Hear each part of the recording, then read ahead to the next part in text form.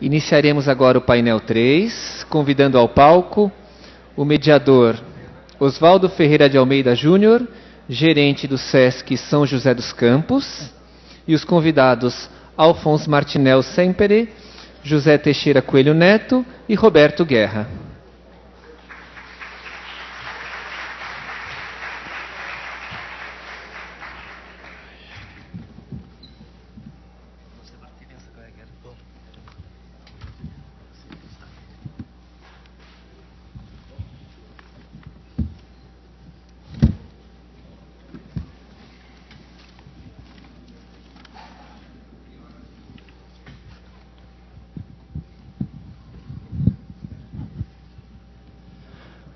Boa tarde.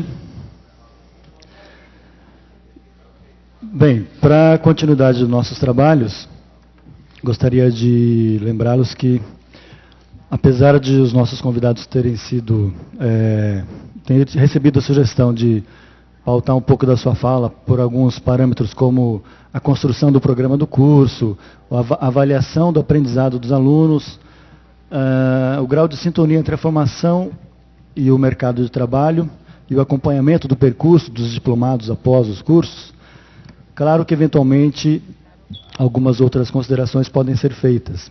Caso vocês percebam que algum desses assuntos de seu interesse não foram contemplados nas falas, vocês podem encaminhar as questões por, por escrito, mas por favor não se esqueçam de anotar o seu e-mail na ficha, porque caso não haja tempo de responder a, a todas as questões, elas serão encaminhadas, as respostas serão encaminhadas por e-mail.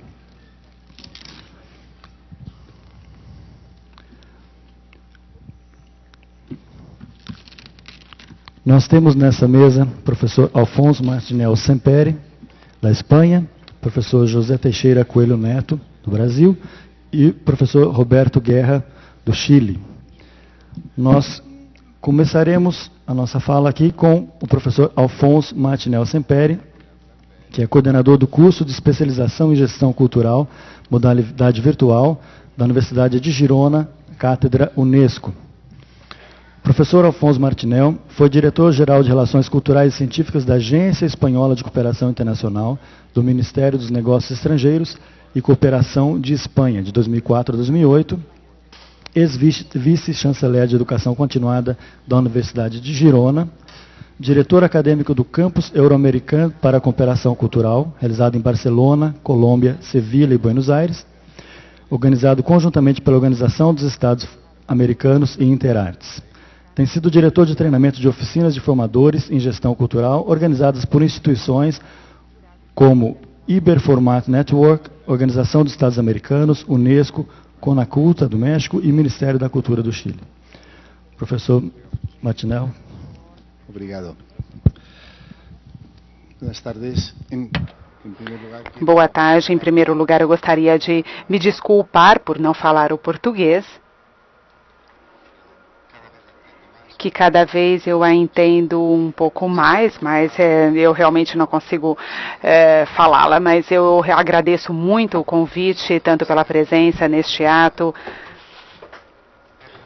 quanto a me fazer pensar sobre essa atividade que eu estou realizando há muitos anos e que sempre tenho grandes dúvidas. A apresentação que me pediram seria que apresentasse o mestrado oficial que nós oferecemos e aqui nessa primeira parte relacionada de onde nós eh, planejamos o mestrado, como nós entendemos essa gestão cultural. Essa formação em gestão cultural na Espanha tem um longo processo de mais de 25 anos, quando na década dos 80, logo depois dos processos de democratização, começou a existir uma demanda de formação, uma necessidade de formação e alguns profissionais da gestão da cultura, o que nós não sabíamos se era gestão da cultura, mas o que mas nós tivemos realmente que ensinar os novos alunos que se incorporavam a uma realidade nova de trabalho. Este é um longo processo no qual eu sempre acredito que há umas primeiras questões a levar em consideração. A primeira grande questão sempre é a questão da nova profissão, se essa gestão cultural é uma nova profissão ou se é algo que já existia anteriormente, que foi sendo configurada na, na atualidade desta maneira, ou de onde surge este conhecimento para a gestão cultural se a gestão cultural ela é uma disciplina, eu não, não, sei, não, não acho que seja uma disciplina, mas sim algo prático que se nutre do conhecimento de várias disciplinas. E então com isso fazemos referências às ciências, à cultura, às ciências que contribuem e que oferecem conhecimento para a gestão cultural. E há inclusive algumas exposições na academia que inclusive querem criar ou colocar a gestão cultural como disciplina própria mas eu espero que, bom, se consigam, se conseguirem, tudo bem, mas eu não acho que isso faz parte realmente desse objetivo. Eu acho que realmente é uma profissão nova. Ontem eu fui jantar num restaurante siciliano aqui em São Paulo. Eu sou realmente apaixonado pela Sicília e tinha ali um, um cartaz enorme dos, da, de fotos dos teatros gregos da Sicília, que é uma ilha pequena do Mediterrâneo, na Itália, e eu tive a oportunidade de visitar 20 teatros gregos ali quando eu estive na Sicília. E eu acho que realmente alguém ali estava fazendo a administração destes teatros. E quando eu vou a Machu Picchu ou Chichen Itza, que são grandes locais onde se difunde realmente é, cultura importante, certamente alguém administrava, digamos, o Coliseu de Roma também. Certamente pelo número de espetáculos e de pessoas que estão ali, certamente um número muito maior do que as pessoas que cabem nessa sala, nós não podemos dizer então que a gestão cultural é uma profissão nova, mas certamente seria uma nova forma de é, de fazê-la, porque há várias mudanças na sociedade atualmente, há várias mudanças que estão acontecendo. Eu sempre digo que a gestão da cultura eu sempre começo dizendo que a gestão da cultura requer uma capacidade para poder administrar o o, as opiniões, porque nós não, tem, nós não temos verdades, o que, o que, é certo, o que é errado, o que é significativo é, para uma comunidade, pode ter um sentimento de aceitação ou de negação é, diferente de outra. Então, claro, eu sempre dizia para os meus alunos, eu acho que a gestão cultural ela pode ser aprendida, mas eu estou convencido de que não podemos ensiná-la. Eu fiz gestão cultural, eu estive 13 anos trabalhando ali na, na prefeitura, no governo da Espanha também durante quatro anos. E para que serve essa formação da gestão cultural? Eu estive trabalhando com essa formação é, eu, não estou convencido de que o meu melhor aluno do curso de mestrado seja o melhor gestor cultural logo depois do curso. E também não estou convencido de que pessoas sem formação com gestão cultural não possam desempenhar uma boa gestão cultural. Então, o que, que nós fazemos neste caso? Então, por que há formados? Por que há graduados? Porque, claro, a formação, a graduação, ela tem ou oferece a opção ou oferece a possibilidade de ordenar os conhecimentos para os alunos de poder poder é, mostrar e passar e para que o aluno saiba mais o que está acontecendo, para que o aluno possa compreender um pouco melhor o que acontece no seu é, na sua comunidade. Várias pessoas atuam como gestores, mas se ele tem uma formação, ele sabe entender por que ele atua, o efeito daquilo que está sendo realizado. Então, portanto, nós podemos dizer que a formação ela tem uma grande importância por trás dessa gestão. Agora, o que, que acontece com os universitários?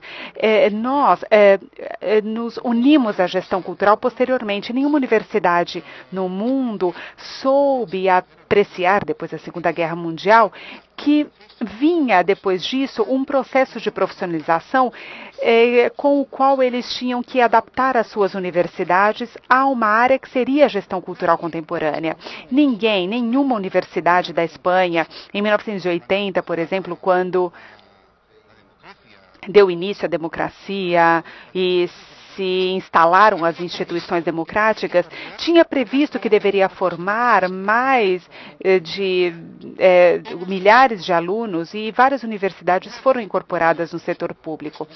Então, as universidades, elas sempre eh, foram é, é, é, é, estiveram mais à parte. Agora, por que isso? Como uma interpre interpretação, nós dizemos que as universidades elas estão organizadas por departamentos, por disciplinas, por área, e a gestão cultural ela, inter, ela é interdisciplinar. E como disse já um professor, é, Alfonso, nós estamos num campo pós-disciplinar e a disciplina nos ajuda e não tem essa resposta. A disciplina ela nos oferece um conhecimento, agora este conhecimento ele é necessário, é necessário transformar esse conhecimento. Então, nós estamos diante de fenômenos muito claros.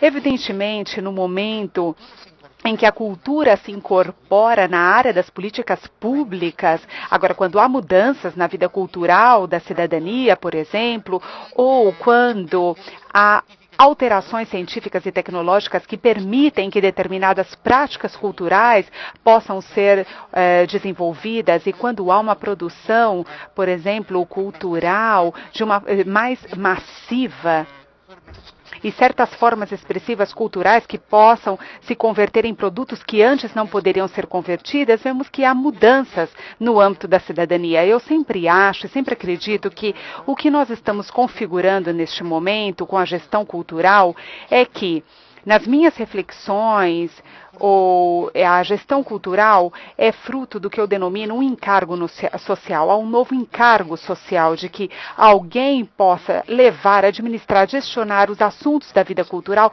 de uma forma diferente, como foram feitos até aí, principalmente com complexidade técnica.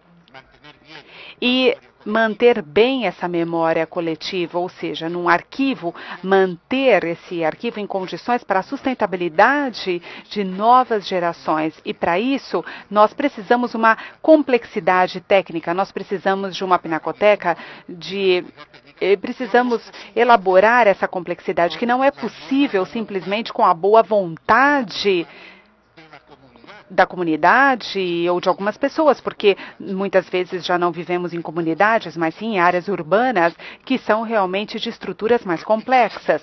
Claro que há comunidade cultural, que às vezes é inclusive mais motivo de estudo para academia e para determinadas disciplinas, mas a realidade é que a comunidade cultural, é, podemos dizer que antigamente, por exemplo, é, poderíamos falar sobre as culturas indígenas. Eu sempre perguntei às várias pessoas da América Latina onde há mais índios aqui nas comunidades ou nas cidades.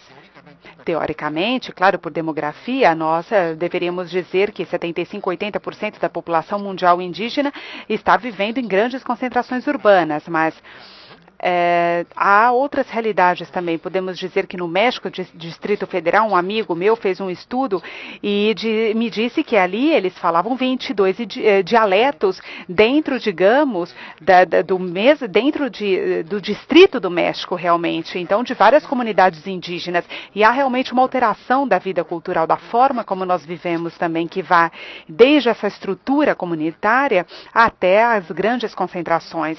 Então, portanto, há um processo no qual há um encargo social cada vez mais amplo desta vida cultural. E a boa vontade já não é tão possível. E nós é, é, precisamos de uma especialização. E este encargo social ele gera prévia formação, uma profissionalização, profissionalização do serviço. Então, cria uh, pessoas contratadas para que se encarreguem de assuntos determinados do âmbito cultural e não com pessoas sem formação.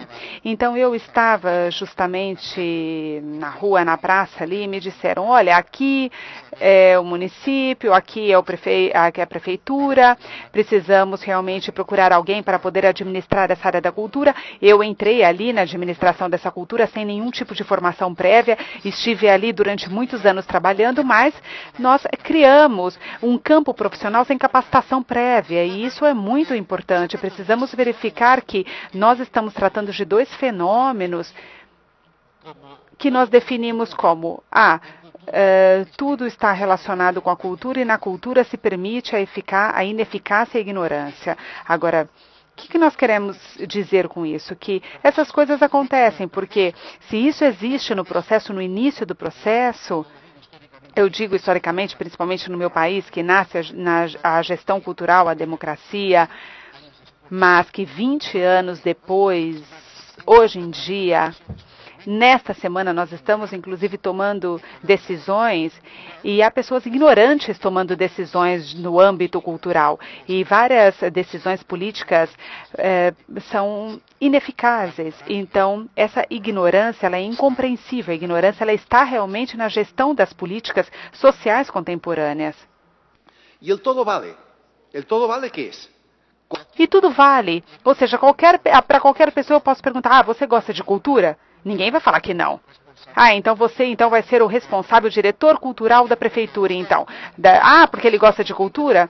Ah, ah, ele escreveu um livro de poesia? Ah, então você entende de cultura. Você vai ser então encarregado da área de cultura da prefeitura. Ah, você que é aquela senhora, ou você que é o senhor, ou aquele artista importante e tal. Ah, então você vai ficar encarregado então da área do departamento cultural da prefeitura. Tudo vale, né? Então esse é o grande desprestígio das instituições culturais, da falta de conhecimento e falta de vigor. Tudo isso nos leva, inclusive, a uma demanda de formação especializada com mais rigor. Então, com isso, vemos um fenômeno que nós chamamos de os falsos aprendizes. São pessoas que estão trabalhando na área da gestão, mas que não possuem formação. Então, os falsos aprendizes são pessoas que são difíceis de serem formadas, porque eles já possuem experiência, mas eles não têm determinado ordenamento dos conhecimentos e vão buscar uma formação depois, uma formação posterior. Então, isso é muito interessante, porque, claro, é, vemos que as pessoas que estão em ação realmente vão descobrindo que realmente, e, vamos verificando que não é aquele jovem que sai da universidade e vai trabalhar, é ao contrário, as pessoas que, é, que estudam a gestão cultural são as pessoas que já estão na prática, já estão trabalhando e vão buscar uma formação posterior. Então há uma demanda de formação importante. Agora essa demanda ela esconde e nós não podemos esquecer em nenhum programa de formação que essa demanda ela esconde perfis diferentes de aluno. Em primeiro lugar, esconde a busca de uma identidade profissional. Essa pessoa que se incorporou ou que está estudando, ela pode se perguntar, bom, é, aqui, aqui é, o que, que eu faço? Qual é a minha profissão? Qual é a minha ocupação? Então, precisamos dizer, bom, eu era uma pessoa que estava na rua, me colocaram simplesmente para administrar um, um, cargo público e agora eu preciso de uma formação para me dar respostas aos meus novos problemas. Eu preciso buscar uma formação porque eles me colocaram para trabalhar em determinada área, mas eu não estudei isso em detalhe. E, então, eu preciso agora é, de uma formação para que eu possa realmente é, me encarregar do departamento como um todo. Então, desta forma, nós estamos vendo já uma nova geração de profissionais que, nos seus estudos de graduação, nos seus estudos de formação, seja em qualquer área, porque eu acho melhor uma gestão cultural em diferentes áreas, este aluno já vai tendo uma opção pela gestão cultural e, com isso, esse aluno busca determinadas opções. Essas são as características de cada uma das funções e, bom, então eu preciso resolver determinados problemas no departamento e quero buscar e quero ter um futuro neste campo e quero verificar realmente os programas de formação neste perfil e, uh, neste caso, nós precisamos recorrer a essa formação para solucionar problemas mais importantes. Eu digo que os perfis, como o professor Duran estava dizendo hoje de manhã, esses, perfis, esse, esses perfis de origem são muito variados. E também muito, muito variados os perfis de eh, formação desses alunos também. Nós não formamos os alunos para o mercado, nós formamos para a sociedade. Formamos para a sociedade. Então, dentro da sociedade, há o mercado. Não há dúvida com relação a isso. Claro, dentro da sociedade há o mercado, mas também há o interesse geral, a vida cultural dos cidadãos. a vida cultural dos cidadãos daquela sociedade, a vida das comunidades, dos grupos. Então, há todos os processos criativos, há muitas coisas relacionadas com a cultura que não está no mercado. O mercado está aqui, sim. Sabemos que há várias há várias atividades no mercado, mas este curso está mais orientado para a gestão social. E é muito curioso que várias pessoas vão buscar formação em gestão cultural ultimamente, principalmente na Espanha, não para dedicar-se profissionalmente à gestão cultural, mas sim para poder ter uma formação complementar a uma outra atividade que está desempenhando. É um outro perfil importante que estamos vendo nesses cursos também. Então, são pessoas que estão fazendo o curso como uma segunda opção, porque para eles o conhecimento do gestor cultural, sem querer se dedicar a ele completamente, forma parte ou acrescenta, porque, claro, a gestão cultural não está delimitada dentro de uma gestão específica.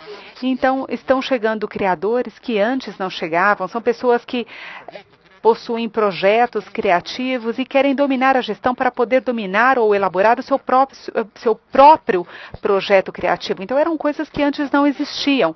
Claro é, que um criador conheça a lógica da gestão da cultura e dos processos culturais é algo realmente muito importante. É um novo é o perfil de criador, no qual ele não vai ter um manager que leve ou que se encarregue dos seus assuntos. Ele quer realmente que a formação em gestão possa ajudá-lo na elaboração dos seus projetos.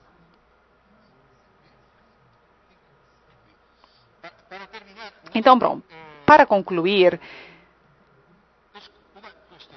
eu vou colocar aqui umas questões. Bom, este mestrado oficial em gestão cultural que nós oferecemos na universidade é um mestrado totalmente virtual, que responde, inclusive, a três lógicas. Em primeiro lugar, a novo âmbito europeu, novo marco europeu de é, acreditação é, universitária toda a universidade, ela estrutura os seus currículos de tal forma que sejam reconhecidos e homologados por outros países da União Europeia. Então, é um programa deste tipo que é possível homologá-lo dentro eh, em, em, outros países, eh, dentro da Europa, inclusive com uma carga horária que permite essa mobilidade de um lugar para o outro. E é um mestrado interuniversitário também. São três universidades que se unem. E por que elas se unem, essas três universidades? Porque elas acreditam que cada uma delas contribui com um know-how diferente para poder alcançar os objetivos deste mestrado. É um tema que também nós estamos colocando no âmbito de mestrados interuniversitários. E por que isso? Primeiro, porque obriga a uma negociação mais ampla e a simples decisão do departamento. Se um departamento, por exemplo, tivesse que assumir toda a gestão cultural, a gestão cultural seria um desastre. E por quê? Porque meu, no meu departamento nós somos três, quatro professores, simplesmente que nós temos também um nível de especialidade, mas há vários outros que não. Então, é, é um master, é um mestrado oficial. Significa que ele tem um reconhecimento, mas isso nos permite, inclusive, que um mestrado universitário ele é um projeto mais dinâmico, ele é menos endógeno que certos processos internos dentro do mundo acadêmico. Agora, é uma aliança simplesmente para dizer, bom, eu sou uma parte e não sou outra. Se você contribui com isso, se você contribui com isso, juntos nós podemos oferecer algo muito melhor.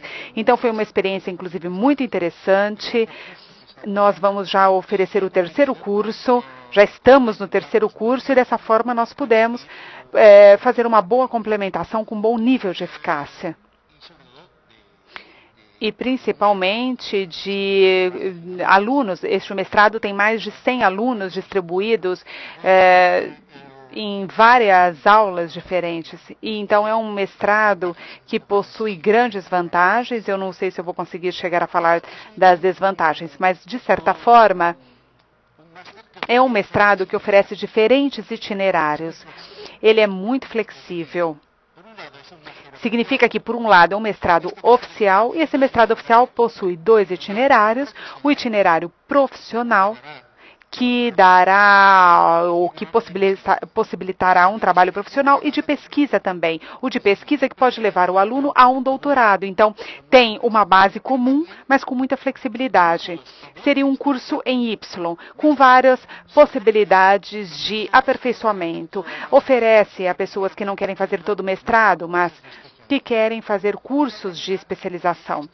De tal forma, este curso gera uma estrutura que nos eh, custou organizá-la, mas de certa forma nós vemos que apresenta uma organização muito rica, como os resultados, eh, eh, como os resultados finais desse programa de formação. Então, é uma flexibilidade que às vezes no âmbito universitário não podemos permitir. Agora, qual o elemento que nos permitiu isso? Essa questão de ser um mestrado interuniversitário, porque de certa forma por ser interuniversitário, vemos que cada universidade possui a sua lógica. E para finalizar, nós vemos que a formação eu tinha mais coisas para dizer, mas de certa forma a formação virtual ela é uma nova oportunidade. Não é nem melhor e nem pior que a presencial. Eu estou há 25 anos trabalhando com formação é, presencial em gestão cultural e quando eu uh, dou uma aula presencial, eu gosto muito, aproveito bastante também. Agora, esse impacto que eu tenho com a formação virtual é um pouco diferente, assim, é um outro parâmetro, é outra coisa realmente é uma outra questão. Agora, quando eu ouço relatos de pessoas que estão fazendo gestão cultural há anos, num, num, numa partezinha ali no sul do país, mas que não podem se deslocar à universidade e que conseguem desta forma ter um conhecimento e nos agradecem com isso, há algo muito importante também, algo muito gratificante para nós. E nós dizemos, bom, que, que bom, também tem uma função social esse mestrado virtual. E nesta lista de vantagens e desvantagens, inconvenientes ou convenientes que nós vemos o tema da gestão cultural, e principalmente para terminar, eu gostaria de dizer que essa estrutura é um bloco básico. Temos um bloco básico de gestão e políticas culturais, que é muito importante também analisar esse bloco. Logo depois nós temos três linhas de especialização e logo depois nós temos as teses, os trabalhos finais, ou mais de, de profissionalização ou de pesquisa. E se a pessoa vai mais para orientação profissional, ela faz um trabalho mais de âmbito profissional, ou se tem mais orientação para o doutorado, ela faz um trabalho mais de pesquisa orientada ao doutorado para um registro de tese de doutorado, que é também um trabalho muito importante. O que, que nós avaliamos essa experiência total? Vejam bem, em primeiro lugar, nós começamos há alguns anos tentando saber quem nós éramos, qual seria essa formação. Nós tentávamos buscar os falsos aprendizes para que eles aprendessem, tivessem uma formação, porque eles tinham uma experiência, mas não tinham a, a titulação. Buscamos essa formação em gestão cultural e a universidade porque antes não ofereceu todo o enfoque disciplinar e não e agora pôde oferecer um reconhecimento profissional dessa formação. E em último lugar, eu acho que é muito importante também essa incorporação desta linha de pesquisa. As pessoas formadas em gestão cultural possuem agora essa formação. A minha equipe, depois de muitos anos, inclusive, agora eh, verifica uh, um grupo de pessoas que terminam teses e que defendem teses na área de gestão cultural. E isso é muito gratificante, porque antes eles não tinham nenhum canal para chegar a estes temas. Isso é muito importante para poder gerar este conhecimento. Então, bom, para terminar, aqui deixo uma mensagem muito importante que reflete muito bem o, como deveria ser um programa de formação. Quando eu dizia que a gestão da cultura e a gestão não falava de que tudo vale, que tudo é possível, mas que nós estávamos falando. E neste livro, A Sociedade da Informação, ele diz mais ou menos assim, que nessas turbulências que nós vemos hoje em dia e com as crises atuais, que nos levou a essa globalização e que nos levou também a essa interdependência tão intensa que nós temos entre os contextos locais e globais exceto que alguém queira ficar à, à, margem ou queira se isolar completamente das redes sociais e dos sistemas e perderia toda a conexão com o mundo atual. Então precisamos saber navegar por essas turbulências e para poder navegar é necessário duas ferramentas fundamentais. Em primeiro lugar, ter uma bússola para poder saber realmente onde se quer ir e ter muito em mente as nossas entidades culturais para saber de onde somos e de onde viemos. Muito obrigado.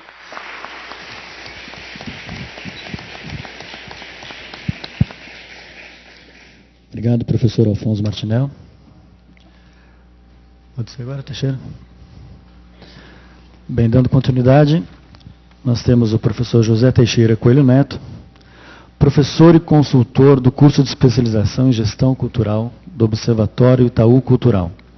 Professor titular aposentado da Universidade de São Paulo, foi professor de Teoria da Informação e Percepção Estética e de História da Arte da Faculdade de Arquitetura da Universidade Mackenzie. É curador coordenador do Museu de Arte de São Paulo, MASP. Especialista em política cultural e colaborador da Cátedra Unesco de Política Cultural da Universidade de Girona, Espanha. Professor Teixeira, por favor. Obrigado, obrigado muito boa tarde. Um prazer estar com vocês aqui na, no SESC, um, um, lugar pelo qual tenho muito carinho. Não só um prazer especial de estar aqui, mas um lugar pelo qual eu tenho muito carinho e uma conquista, não só do SESC como de todos nós, que nós temos que manter a todo custo, e às vezes o custo é alto. E eu acho que nunca é demais, num, uma situação como esta, numa moldura como esta que nós estamos, fazer este lembrete sobre uh, a importância histórica e social do SESC. Uh, me foi pedido que fizesse então uma abordagem uh, muito mais, um pouco de caráter histórico sobre a experiência nestes cursos de formação e um pouco de caráter crítico sobre o que nós temos feito em vários lugares, sobre o que se espera que nós façamos, as nossas dificuldades, as nossas opções. É, há talvez uma expectativa de que eu me debruce mais sobre é, o programa do Observatório Itaú Cultural, mas seria que é de fato uma experiência extremamente interessante, é? audaz até, que uma instituição é, privada até então dedicada muito mais à informação sobre a cultura e a arte, ou sobre o desfrute da experiência cultural, abrisse uma vertente de formação em gestão cultural e uma formação com um viés fortemente acadêmico. Isso não é todo dia que se encontra. E que permitiu, é, sobretudo a mim, é, ir realizar em parte no Itaú Cultural aquilo que na Universidade de São Paulo nunca foi possível fazer. Mas, embora registrando então essa audácia que teve eh, o Itaú Cultural e que continua tendo, é? a aposta que ele fez em que isso era viável, seria o caso de lembrar que a, a minha experiência específica com a formação cultural começou na USP já no final da década de 80, o começo dos 90, não me lembro mais exatamente, não foi muito verificar, o passado me aterroriza, eu tenho medo e não me preocupo muito com isto. Mas no final dos anos 80 ao começo dos 90, nós oferecemos um primeiro curso de especialização na USP em eh, aquilo que se chamava naquele momento de ação cultural. E é interessante a gente perder 30 segundos desses 20 minutos para apenas pincelar a evolução na terminologia desta atividade ou desta, desta ação, desta prática. Não é? Naquele momento, o curso já se chamava um curso de especialização em ação cultural, com todos os, os requisitos e o formato da pós-graduação propriamente dita. Né? Ele só não tinha a tese final, mas o número de horas eh, dedicadas à, à situação presencial na sala, os trabalhos eram praticamente a mesma coisa. Mas, como eu dizia, naquele momento o curso era dedicado à ação cultural, já indicando, já sinalizando uma mudança muito forte em relação à terminologia anterior que se aplicava a esta, esta área, que era o, de, o da animação cultural. É? O próprio SESC, quando começou a sua atividade lá atrás, é, falava em, em, animação cultural é, e preparava as pessoas para a animação cultural. É? A animação cultural, não vou me deter muito aqui, mas ela tem um sentido específico, depois, ou quem já conhece sabe o que eu estou me referindo, pode pensar um pouco.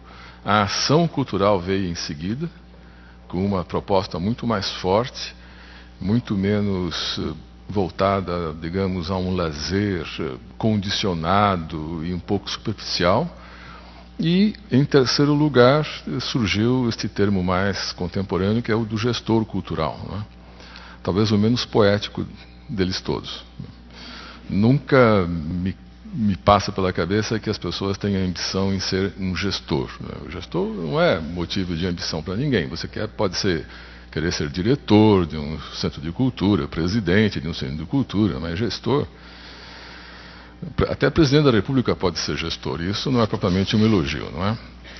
Mas entendam esta questão como quiserem, mas é interessante acompanhar a evolução na terminologia.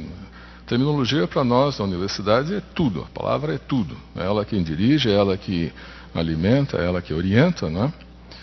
Naquele momento, então, o curso começou como um curso de ação cultural, eh, dentro de um quadro maior de política cultural. Eu sempre costumo dizer que a gestão cultural executa aquilo que a política cultural decide. Hum? É bem é, útil manter estas, estas duas dimensões, estas duas esferas na cabeça. Né? Então começamos com um curso de especialização em ação cultural, ainda muito, é, digamos, vinculado dentro da, da prática habitual da universidade, das expectativas habituais da universidade. Com uma diferença, acho que isso é importante também ressaltar neste momento aqui. Não é? Por que, que existiu o curso de especialização em ação cultural na USP naquele momento e por que, que existiu, por que veio a existir um curso de especialização em gestão cultural no Observatório Itaú Cultural. A sociedade pediu. Não foi a universidade que propôs ou que impôs. A universidade, na verdade, estava bastante alheia a essa questão e continua alheia. E continua completamente alheia. A Universidade de São Paulo, né? Está ruim? É. Está se ouvindo? Não. Vou repetir tudo de novo? Não.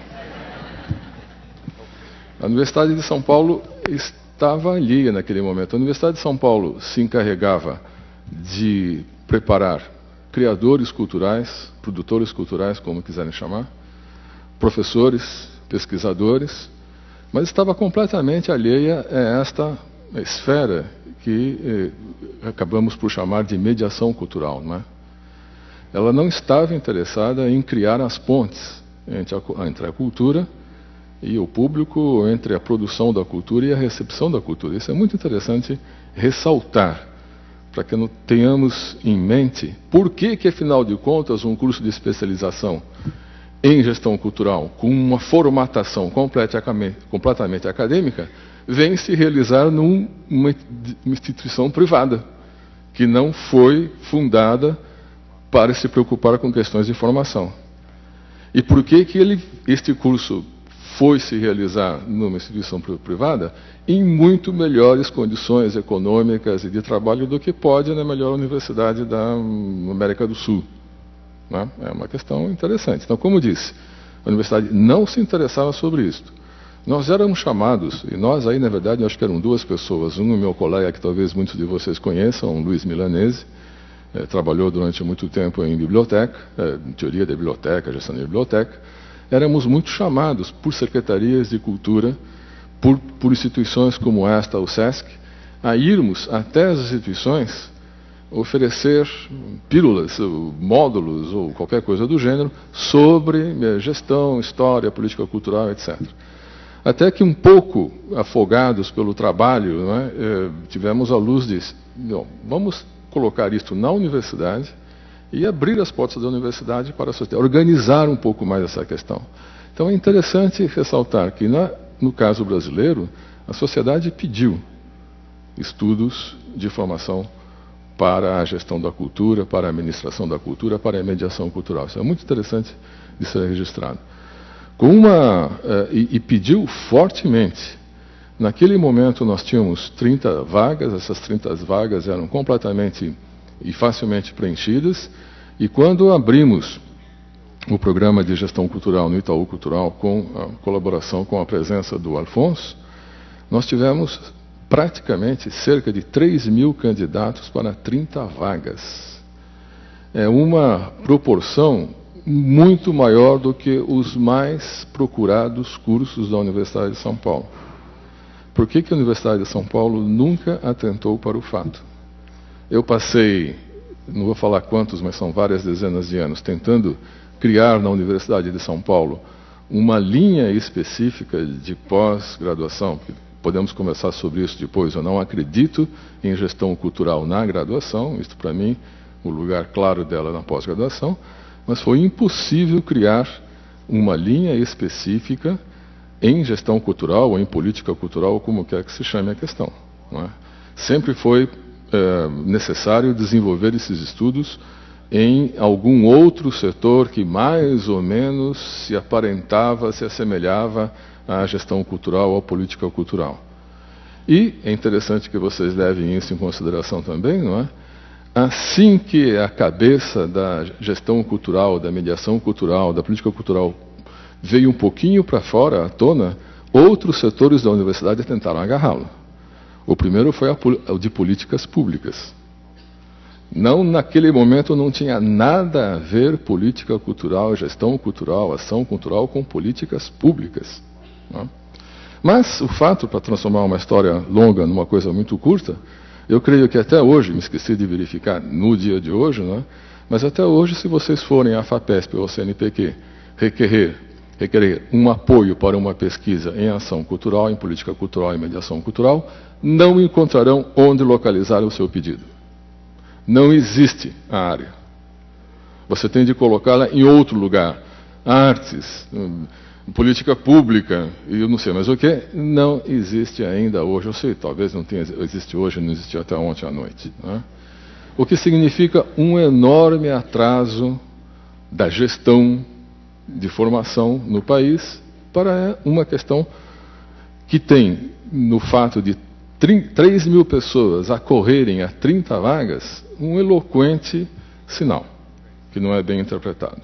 Bom, então isto é o que eu poderia falar muito brevemente a respeito de uma brevíssima história né, da, da, gestão cultural no Brasil, não diz muito, mas um pouquinho diz, e vou me limitar aqui agora a eh, discutir com vocês dois pontos, provavelmente não vai dar para ler o, o segundo, mas pelo menos um ponto, que vai dizer é, vai, vai estar colocado inteiramente dentro de uma questão, se me permitir o palavrão, é? de uma visão epistemológica da questão da formação em gestão cultural, da questão do entendimento do que é isto e como se prepara para isto. É? Quatro questões que são recorrentes é, nessa minha experiência desde os anos 80 na Universidade de São Paulo, incluindo também agora o curso mais recente no Itaú Cultural, que tem apenas três anos. Embora foi gestado, levou uns cinco anos para gestar isto e acertar tudo, é? três anos de efetivação prática. Então, questões epistemológicas que dizem respeito à formação do gestor cultural, do mediador cultural, como queiram chamar. É? O primeiro deles, e é um pouco tentando responder a essa questão que nós fizemos esses cursos, tanto aquele da USP quanto esse do Itaú Cultural. Primeiro deles, parte de uma constatação.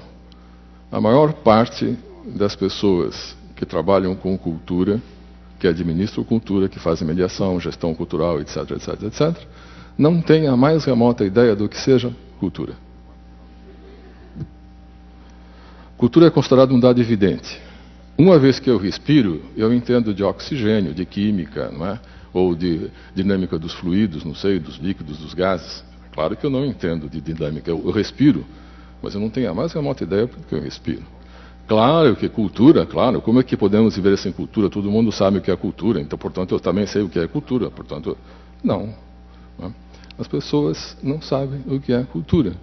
E ela se põe a fazer gestão cultural sem saber o que é cultura. É possível fazer isso? Claro que é possível. Né? O Alfonso até comentou. É possível fazer isso. É possível um piloto que não passou por um curso de engenharia aeronáutica pilotar bem um avião e sair de São Paulo e chegar a Paris? É. Se der algum problema no meio do caminho, pode ser que não seja. Eu, se pudesse, iria conferir o currículo do piloto. O senhor fez engenharia aeronáutica? Ah, eu fiz. Não, eu não fiz. Eu fiz o um cursinho ali perto do, de, de, Congonhas, que tem lá uma cabine. Eu entro lá, simulo o voo. Sabe qual é o problema? De cultura, todo mundo acha que pode discutir. E está muito bem, é muito democrático, é muito envolvente, é muito emocionante que todos possamos discutir de cultura. Nem todo mundo se põe a discutir as estruturas de uma ponte pêncil entre o território brasileiro e uma ilha qualquer, como tem em Florianópolis, se não me falhar a memória. Mas sobre cultura todos vamos discutir. É democrático, é estimulante, tem que ser assim. Mas será que pode ser assim quando a gente está tratando de profissionais da área da cultura? Então, o primeiro problema que nós encontramos, que eu continuo encontrando, não é? é o fato de que as pessoas não sabem o que é cultura, não conseguem distinguir entre cultura e arte, Embora o tempo inteirinho nós ouçamos, até de deputados que de repente são obrigados, porque eu acho que isso deve ser uma obrigação para eles, não é? até deputados que são obrigados a fazerem parte de comissões de cultura das câmaras e do Senado e não sei mais aonde, não é? normalmente, quando falam desses assuntos, vocês podem prestar atenção, não é? falam sempre das questões de cultura e arte. No fundo, todo mundo sabe que tem uma distinção entre cultura e arte. O GPS intelectual do sujeito está ligado e quando ele fala assim, de improviso, sai cultura e arte. Mas quando você diz para ele, fala, está vendo? Cultura é diferente de arte. Ah, não. Como? Como? Está lá os estudos de antropologia do meados do século XIX, de onde saiu toda essa trololó a respeito de, de, gestão cultural e política cultural. Lá diz, não é? Cultura, o que, que é? Ah, é tudo, não é? É roupa, é alimento, é dança, não sei o que, é arte, é direito. Não serve. Este, este conceito não serve para a política cultural, para a gestão cultural. O primeiro problema nosso, o primeiro trabalho nosso é dizer, olha, não serve. A sua visão antropológica de cultura não é que esteja errada, não é que seja não operacional, ela não serve. Esse é um primeiro momento. Quanto tempo tem? Cinco minutos. Bom, esse é um problema, é um problema que a gente procura enfrentar. E que talvez seja o maior problema que nós temos nestes cursos, que afinal de contas são cursos de nível superior. Nós não ensinamos lá não é, é como a pessoa vai montar um projeto para pedir incentivo na Lei Rouanet. E nem como é que ela vai prestar contas do projeto de acordo com o sistema de partidas duplas de contabilidade. Não é esse o nosso problema. O nosso problema é criar as condições para que as pessoas entendam a dinâmica que ela se propõe gerenciar. É? Então nós enfrentamos este problema. Não vou dizer qual para vocês é a, é a, solução, mas digo que é, este é um, é um primeiro problema. Segundo problema epistemológico que, que, a gente encontra, que eu encontro particularmente, é? o atrelamento da prática da gestão cultural e do entendimento de cultura a bordões, a palavras de ordem político-partidárias. Esta é uma grande praga da gestão cultural e da política cultural. Porque a democratização da cultura, porque a cultura para todos, porque todos para a cultura, porque a descentralização, porque a desconcentração, tá, tá, tá, tá, tá, tá, tá, tá. Isso é alguma coisa simplesmente impensável no universo universitário. Embora a universidade brasileira tenha frequentemente e lamentavelmente desistido de fazer aquilo para o que ela foi fundada, que é pensar com a cabeça própria, para atrelar-se a cartilhas político-partidárias imediatistas. Então, no caso da política cultural, da gestão cultural, um dos grandes entraves epistemológicos é o atrelamento da reflexão sobre gestão cultural, política cultural, a bordões momentâneos de origem político-partidárias, com graves implicações. É? Uma das implicações mais graves eh, que eu detecto é o fato de que, diferentemente do que acontece no campo das ciências chamadas duras, física, química, matemática e o que for, não é? onde os pesquisadores, os pensadores, os gestores, porque também tem um gestor de física, caramba, um, tem um gestor de astronomia, ele é um gestor. Não é? Na universidade somos todos, em princípio, e esse talvez, talvez seja um problema, e professores, investigadores e gestores. Muito bem. Um professor, um investigador, alguém que reflete, alguém que faz gestão no campo das ciências duras, está naturalmente predisposto a cada cinco anos rever todo o seu esquema conceitual. Ele sabe que ele corre o lixo de a cada cinco anos pegar as células que ele tem, os chips ou o que for, tirar daqui, jogar fora, porque não sabia mais para nada, e refazer a cabeça. O que, diga-se passagem, é extremamente saudável. No campo da teoria da cultura, da gestão da cultura, da política cultural, ou como raio parta seja que a gente chame isso aqui, o sujeito, quando tem 16 anos, 18 anos, leu alguma coisa, geralmente de caráter político partidário a respeito de cultura, e é isso que ele vai carregar até o fim da vida. E se você questioná-lo, você é um ignorante, você é um conservador, você é um reacionário, você é um antipatriota, você não é brasileiro, você não é isso, não é aquilo um enorme entrave epistemológico. Não há nenhuma possibilidade de você vir a conhecer a natureza de um processo como o da cultura extremamente complexo, se você lida, primeiro, com um aparato conceitual que nos vem de meados do século XIX, nós estamos no século XXI. Se dizia, não é, da educação, que a educação, se dizia agora, esses anos, né, que a educação é uma coisa feita por pessoas nascidas no século XX, com ideias do século XIX, para pessoas do século XXI. Não pode dar certo nunca, pois a mesma imagem funciona para a gestão da cultura, para a política cultural e ação cultural. As ideias básicas são ideias do século XIX, a maior parte das pessoas que estão nos postos de gestão são do século XX, e a cultura que eles estão gestionando é a cultura do século XXI. Como é que você pode dar contas do recado? Bom, eu estou já passando da hora, então vou deixar esse de lado, vou para um outro ponto rapidamente. Né? É, terceiro, obstáculo epistemológico. Isso é uma coisa que a gente se divertia muito nos anos 60, 70. Né? Vamos identificar os obstáculos epistemológicos. Virou um vício. Eu fui formado nisso. Eu quero. Está, a coisa é assim, deve ter um vício. Vou procurá-lo.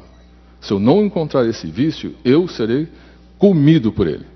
Então, um terceiro obstáculo epistemológico: a vinculação do desenvolvimento do pensamento sobre gestão cultural, política ou cultural e o que for, aos documentos oficiais dos organismos internacionais que se propõem na área e se querem que dê o nome. Eu dou Unesco.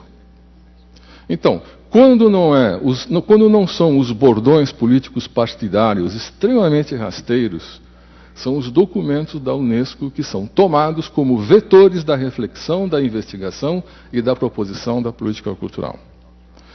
Não é que sejam necessariamente maus documentos, ou documentos ineptos, ou o que for, mas tem um problema muito sério com os documentos da Unesco. Eles são documentos que em primeira instância e em última instância, derivam e se voltam para o Estado. E a pergunta que nós temos que fazer é se a cultura é uma questão do Estado ou se é uma questão da sociedade civil. E há enorme diferença em você saber qual é a fonte que você vai beber. Nós usamos muito, mesmo no, no curso de, do Itaú Cultural, nós usamos muito esses documentos o problema está em transformá-los em vetor da análise, em instrumento de descoberta da essência da verdade do processo cultural. Complicado. Muito, muito frequentemente, documentos da Unesco são versões elaboradas de bordões político-partidários. Um grosso problema. Um grande problema. E o quarto, acho que já está encerrando. Um quarto é, que é grave também, né, obstáculos a, a, vencer. Depois, como a gente vence esses obstáculos, se houver tempo, talvez no debate a gente pode falar, mas pelo menos coloca os obstáculos. Né? O quarto obstáculo é o cientificismo, que se, trans, que se traduz, por exemplo, em questões como a avaliação da gestão cultural, a avaliação da política cultural. Em parte, este obstáculo, o do cientificismo, é um daqueles que nós mesmos, as pessoas que estão dentro, não é, de alguma forma, da gestão cultural, da reflexão sobre o cultural, introduzimos. É? Então, por exemplo, como é que se manifesta esse, este cientificismo? Por exemplo, na vinculação das questões da cultura à economia, que, como todo mundo sabe, é perfeitamente mensurável.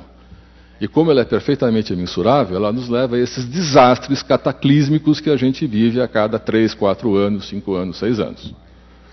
E se vocês quiserem que eu seja mais claro, a maior parte dos economistas não tem a mais remota ideia daquilo que ele está falando e daquilo que ele está propondo. O que no fundo se aparenta um pouco a várias pessoas que falam e que propõem coisas sobre política cultural. Mas com uma diferença. Eles vêm com um aparato científico, tecnológico que se traduz em números. E, esse, e essa tentativa de traduzir em números a cultura é um grande problema que a gente encontra. Eu falei que nós fomos os responsáveis por isso, é, talvez porque nós não tenhamos explicado exatamente a natureza do, da nossa proposição. Muitos de nós propusemos uma visão cientificista, economicista da cultura, por razões táticas, estratégicas.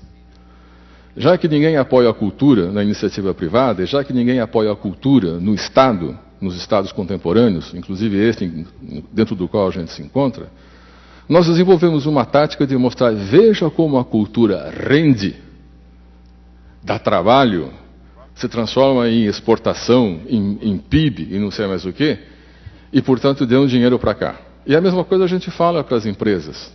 Veja como a cultura pode levar o nome da sua empresa alto, portanto você vai faturar mais.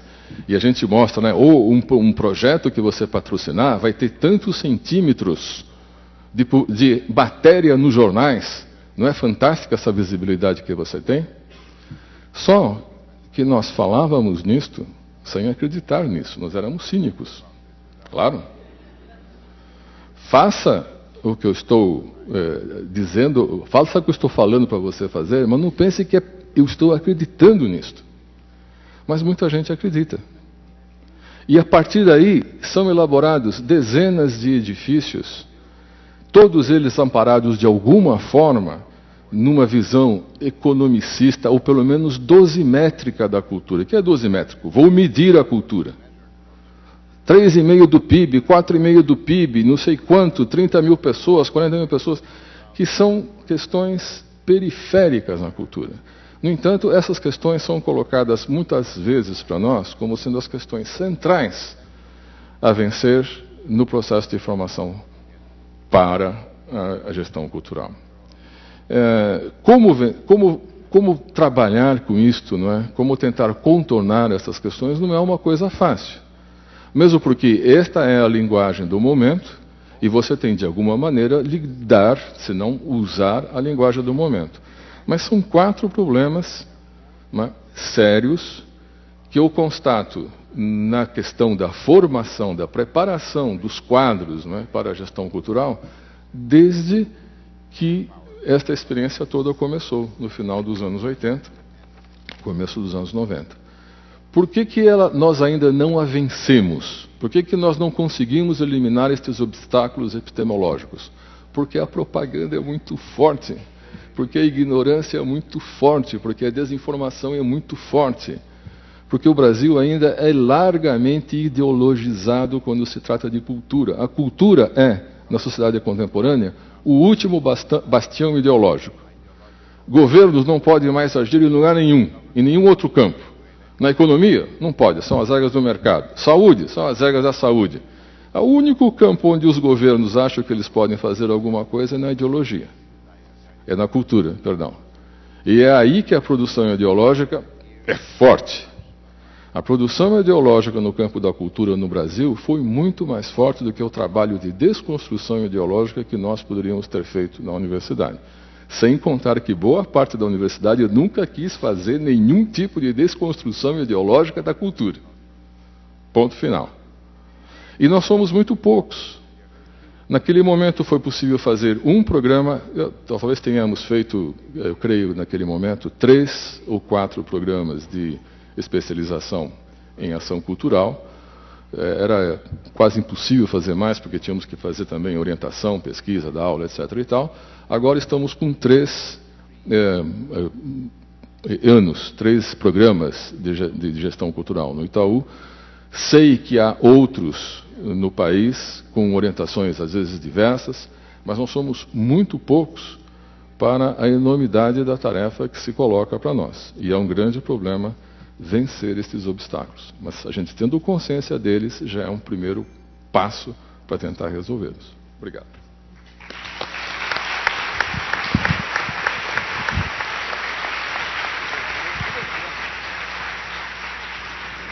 Obrigado, professor Teixeira. Eu queria só aproveitar, é, tendo em vista as apresentações anteriores, e deixar um convite para você, Teixeira e professor Alfonso, para logo que nós começarmos a parte das perguntas, para que vocês aproveitem para dar mais informações sobre a composição do, do programa do curso do Itaú, que difere bastante dos modelos que nós vimos hoje aqui apresentados, e acho que é interessante falar um pouco sobre isso depois. Ok? Bem, agora nós temos o professor Roberto Guerra, do Chile. Roberto Guerra é trabalhador social e gestor cultural, fundador e presidente da Escola de Gestores e Animadores Culturais do Chile. Seu trabalho se relaciona com as temáticas da gestão cultural comunitária, participação cidadã e associativismo. Tem coordenado os encontros nacionais de gestores e animadores culturais e o primeiro Congresso Nacional de Gestão Cultural chileno. É membro fundador da Rede Latino-Americana de Gestão Cultural. Tem três livros publicados e diversos artigos sobre gestão cultural. Professor Roberto, por favor. Olá, muitas gracias por, por invitação. Quero agradecer. Muito obrigado pelo convite. É uma honra realmente estar aqui com todos vocês, vocês e gostaria de eu vou tentar mudar o chip aqui, mas eu vou, eu, eu quero tentar mostrar para vocês o porquê deste convite. Bom, espero que vocês não tenham errado em nos convidar, mas eu quero mostrar a vocês totalmente o contrário, né? Uma experiência que eu quero compartilhar com todos vocês. Espero que o convite tenha, seja propenso. Agora, eu vou tentar falar um pouco mais devagar, mais do que normalmente eu falo, para que nós possamos nos entender melhor. Então, EGADO é uma organização que surge em junho de 2005 no Chile. Nosso propósito de transmissão que seria contribuir para a formação dos agentes culturais, fundamentalmente aqueles que estão trabalhando no âmbito comunitário, gestores culturais, formados por meio da experiência e também poder incorporar competências específicas que contribuem para melhorar essas práticas, processos criativos e organizacionais no âmbito cultural. Essa foi a aposta que nós propusemos nessa questão. E quais são as nossas atividades? O que nós fazemos? Como é, programa habitual está a Escola para os Gestores e Animadores Culturais, eu já logo vou explicar isso. Nós realizamos também assistência técnica às diferentes organizações da sociedade civil, gestores, artistas e para o Estado também. Nós temos uma pequena editora que já está na sua terceira publicação, justamente a seguinte, no mês de setembro, com um livro de projetos culturais e, e comunitários, e logo um livro de animação sociocultural. O nosso segundo grande coração é essa escola de gestores culturais. E um processo muito interessante também, que talvez seja algo que nos consumiu muito, muita energia nesses últimos anos, foi um programa que nós chamamos, e eu entendo que pro, provavelmente foi nomeado assim também, que é a efetividade neste campo da gestão cultural no Chile. Por meio de encontros regionais de gestores culturais também. No primeiro Congresso Nacional de Gestão Cultural, Cultural em novembro do ano passado, algumas pessoas nos, nos acompanharam nesta ocasião. E, finalmente, nós somos membros fundadores da Rede Latino-Americana de Gestão Cultural e também da Associação Nacional dos Gestores Culturais do Chile. Então, no meu país, há duas associações. A segunda, a ANGECO, eu tenho a honra de presidi-la desde o ano passado. Então vamos realmente entrar no tema. Eu gostaria de contar a vocês de uma forma bem rápida é, sobre de onde começa a nossa instituição e gostaria de transmitir o que, que acontece no Chile também, contar de onde nós estamos fazendo, o que nós estamos fazendo. É um lugar comum nessas conversas dos gestores é, é, chilenos que trabalham nesta área, quando nós falamos do Brasil, por exemplo, nos aparece um grande sinal de interrogação de imediato, porque muitos desconhecem muita coisa. Eu acho que talvez seja totalmente o contrário. Desde o início dos anos 90, eu gosto de chamar assim, eu entendo assim, que é a questão da gestão cultural no Chile, com este processo de reconversão e trabalhadores da área da cultura, animadores socioculturais, talvez uma denominação muito genérica, mas agora também nós ouvimos o gestor cultural. É, Rubens, vocês é, provavelmente o conhecem, ele mora na Argentina, ele fala de uma é, de uma erupção complexa dessa gestão cultural, que desperta vários aplausos também, gera muita desconfiança, gera muitas perguntas também, perguntas, desconfianças que algumas continuam ou estão presentes até os dias atuais. Este conceito que vocês podem ver, são, que é a questão da nova institucionalidade cultural, é o que nós chamamos neste âmbito da cultura. Nós não temos um ministério, nós temos um conselho da cultura no ano, que foi elaborado a partir do ano de 2003. Nós temos é, dois exercícios de política cultural que está em vigor até o ano de 2016, essa vigência. Nós temos um enorme crescimento deste, deste setor cultural em termos de financiamento e de infraestrutura e de uma forma muito resumida e de uma forma talvez é, global é um setor muito diverso e muito dinâmico também. Bom, o que aparece também nesta questão discussão respeito de la... no âmbito da discussão com relação à profissionalização da gestão cultural, é, esse setor cultural é um mercado que começa a demandar de uma forma crescente novas competências, a comprovação, a acreditação dessas competências e que gera um aumento notável no final da última década das ofertas de formação em gestão cultural. Nós temos um problema, nós vemos dessa forma.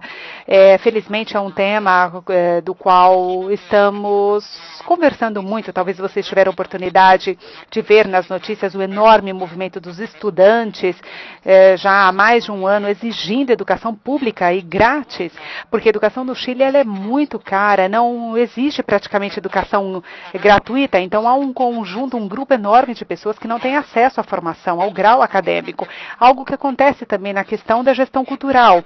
Então, ali nós identificamos uma questão muito importante que é essa deficiência. Agora, com relação ao mercado de trabalho, o que podemos dizer? Bom, o que nós temos hoje em dia nesta área? Qual é a oferta de formação em gestão cultural no Chile? Mais ou menos como vocês podem verificar aqui neste, neste, nesta, neste gráfico é, de pizza. Vejam aqui. 11% de mestrado, 52% de grau uh, universitário, grau universitário virtual 5%. Nós não temos um, um curso, não há uma, é, um bacharelado em gestão cultural no Chile é, há turismo, cultura, que está um pouco mais próximo à área de gestão cultural, mas não é o foco realmente de gestão cultural. Temos cursos de especialização, que está no âmbito de 5%, e cursos técnicos 6%. É importante dizer que a maioria dessas ofertas está é, fo é, focada na capital e é um país, inclusive, de mais de 4 mil quilômetros de comprimento, então realmente é algo muito importante de se pensar. Somente na capital vemos esse curso. Então, vamos verificar aqui program o programa que nós estamos realizando. Essas são as perguntas que nós elaboramos, que nós propusemos logo no início do processo. De que maneira contribuir para fortalecer o trabalho que realizam as organizações culturais? Quais são as necessidades apresentadas e com quem nos relacionamos? Quais são as áreas com as quais podemos materializar e podemos oferecer essa contribuição. Então são perguntas já nesse processo de empezar, de, de começar a elaborar este curso. Agora a área comunitária, como nós estávamos dizendo, alguém teve que fazer alguma coisa e esse alguém há muito tempo atrás, antes de que nós começássemos a falar de gestão cultural, estava trabalhando nesta área. Então, talvez é, é, seria interessante dizer, por exemplo, Violeta Parra, eu acho que vocês a conhecem, não é? Autora de Gracias a la Vida, aquela música tão famosa. Então, eu estava comentando, inclusive, Violeta Parra, no ano de 65, ela tinha acabado de chegar do, de Paris, ela tinha feito uma exposição ali no Louvre, então na parte mais alta da cidade, ela decidiu ir com todos os seus instrumentos musicais e com a sua família. É, ela conseguiu ali, como se fosse uma tenda de circo, instalou a instalou é, e colocou ali essa, essa como se fosse o local da, da rainha. Então, há anos atrás, ela começou a oferecer artesanato, música, e nós indicamos esse local como centro cultural. Então, era uma tenda da rainha. Então, há um tremendo patrimônio ali com o qual os gestores comunitários e culturais nós temos que ser capazes de reivindicar. Agora, no entanto, no entanto retomando essa questão, a perspectiva da gestão comunitária, ela tem um local ela, é, secundário nessa tradição cultural da cidade, com perspectivas ativistas. Então, há uma, é uma questão que não é muito abordada por determinados setores. Isso vai gerando, pelo menos no meu país, um mal-estar com o que nós denominamos perspectiva gerencial da cultura, que se ocupa um pouco mais dos produtos que dos processos. E a gestão cultural, dessa forma, vem justamente reivindicar experiências concretas neste território, formas de gestionar, de criar, de dinamizar este território há, há muito tempo atrás, muito antes de, de se começar com esse tema da gestão cultural. Esse setor maior, este mais dinâmico, ele tem uma escassa presença no âmbito da cultura, tanto institucional quanto público no meu país. E a segunda aposta, o que nós chamamos de um perfil integrado o que seria a nossa própria aprendizagem, a nossa dinâmica, a nossa formação. Eu já conto a vocês quem somos e vemos, eh, já estamos percebendo o desenvolvimento que nós chamamos do perfil integrado cultural.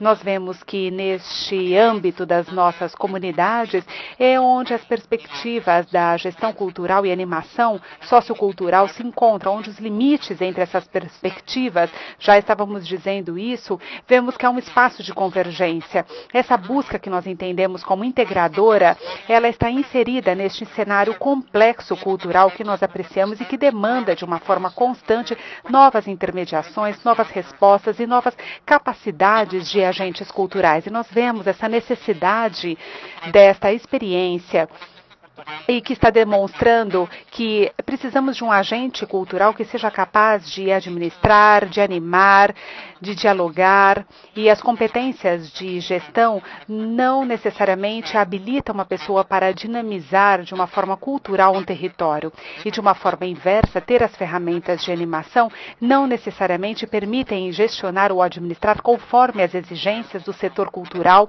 e conforme as demandas do mercado. Vocês podem verificar que aqui está a nossa aposta da nossa experiência e um terceiro elemento importante, a terceira aposta, é a associatividade. Nós entendemos esse processo de formação, entendemos que esse processo de formação está sendo desenvolvido de uma forma plena na dinâmica e no cenário cultural do, no nosso país e na nossa região. O trabalho em rede, de colaboração, também os nossos conteúdos, o sentido deste programa de forma permanente, ele vem instalando e vem colaborando, inclusive, para dinamizar esses conteúdos. O importante, esse componente associativo, foi uma demanda que surgiu na primeira promoção da escola. Foram os próprios alunos que propuseram essa necessidade de se vincular de uma forma diferente com este contexto cultural. E o que, que acontece aqui então? A partir da escola, surge essa convocação com os alunos, num primeiro encontro regional de gestores culturais, na cidade de Santiago, capital do Chile, onde nós o, nos unimos, é, vários gestores animadores culturais, e começamos com este programa de fortalecimento das atividades. Surge no ano de 2009, aqui realizamos nove encontros regionais em diferentes regiões do Chile, e com origem no ano de 2009 e 2010, há dois encontros nacionais de gestores culturais. Um processo que, inclusive, continua no ano passado. Nós tivemos o primeiro Congresso Nacional de Gestão Cultural. Então, este, neste processo, nós tivemos a participação de mais de 3 mil pessoas de toda a região, de todas as partes do Chile. Nos acompanharam gestores e instituições de vários países da América Latina. É muito interessante dizer que, junto com o Congresso do Chile, nós já passamos dos encontros para os congressos, isso é muito interessante, no Panamá, no Chile e em várias partes dessas regiões, nesse campo específico. Aqui nós vemos algumas imagens e cartazes destes, destes encontros que eu comentei com vocês, para que vocês tenham uma ideia de como nós estamos realmente trabalhando de forma intensa nestes processos. Um quarto elemento seria a incidência. A incidência de, de a partir deste passo, nós propusemos, diria eu, o fortalecimento e a capacidade da presença política na, na, gestão. Nós criamos no ano de 2010 essa segunda associação dos gestores do Chile, tendo como núcleo e base os próprios alunos formados da escola, que nós chamamos de ANGECO, Associação Nacional de Gestores Culturais do Chile, e compartilhar com esses alunos dois projetos, ou seja, iniciativas com as quais nós estamos trabalhando neste instante, que nos parecem relevantes comentar. A primeira delas é que nós estamos trabalhando com diferentes eh, deputados, com a criação de, do, de nove, do dia 9 de outubro, como a criação da, dessa criação nacional desses gestores culturais do Chile. Há uma criação, inclusive, de 20 disciplinas, de 20 profissões vinculadas à área das artes e, eh, e profissões que têm relações com essa gestão. Então seria uma desculpa com sentido, seria uma, muito, uma, uma desculpa muito boa para que os gestores culturais pudessem se reunir e avançar a outros passos e a outras direções. E com o Conselho da Cultura, a criação de uma mesa nacional de gestão cultural, um espaço que possa reunir instituições que trabalham no âmbito da formação e de sociedade civil com relação a esses temas que nós estamos comentando. Rapidamente eu gostaria de comentar com vocês o programa.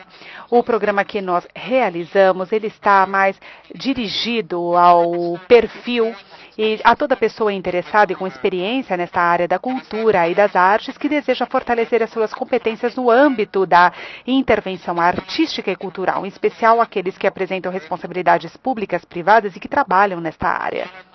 Aqui vocês vão poder verificar os, o conteúdo dessa formação. Há uma aposta muito importante para o tema das. Eh, das animações socioculturais. Aqui nós vemos, inclusive, toda a base teórica com vínculo no tema da cultura, um módulo completo, inclusive, de animação sociocultural, de políticas culturais, patrimônio, participação cidadã, gestão cultural e, evidentemente, e não de forma casual, no final, o que tem a ver com a formação dos projetos culturais.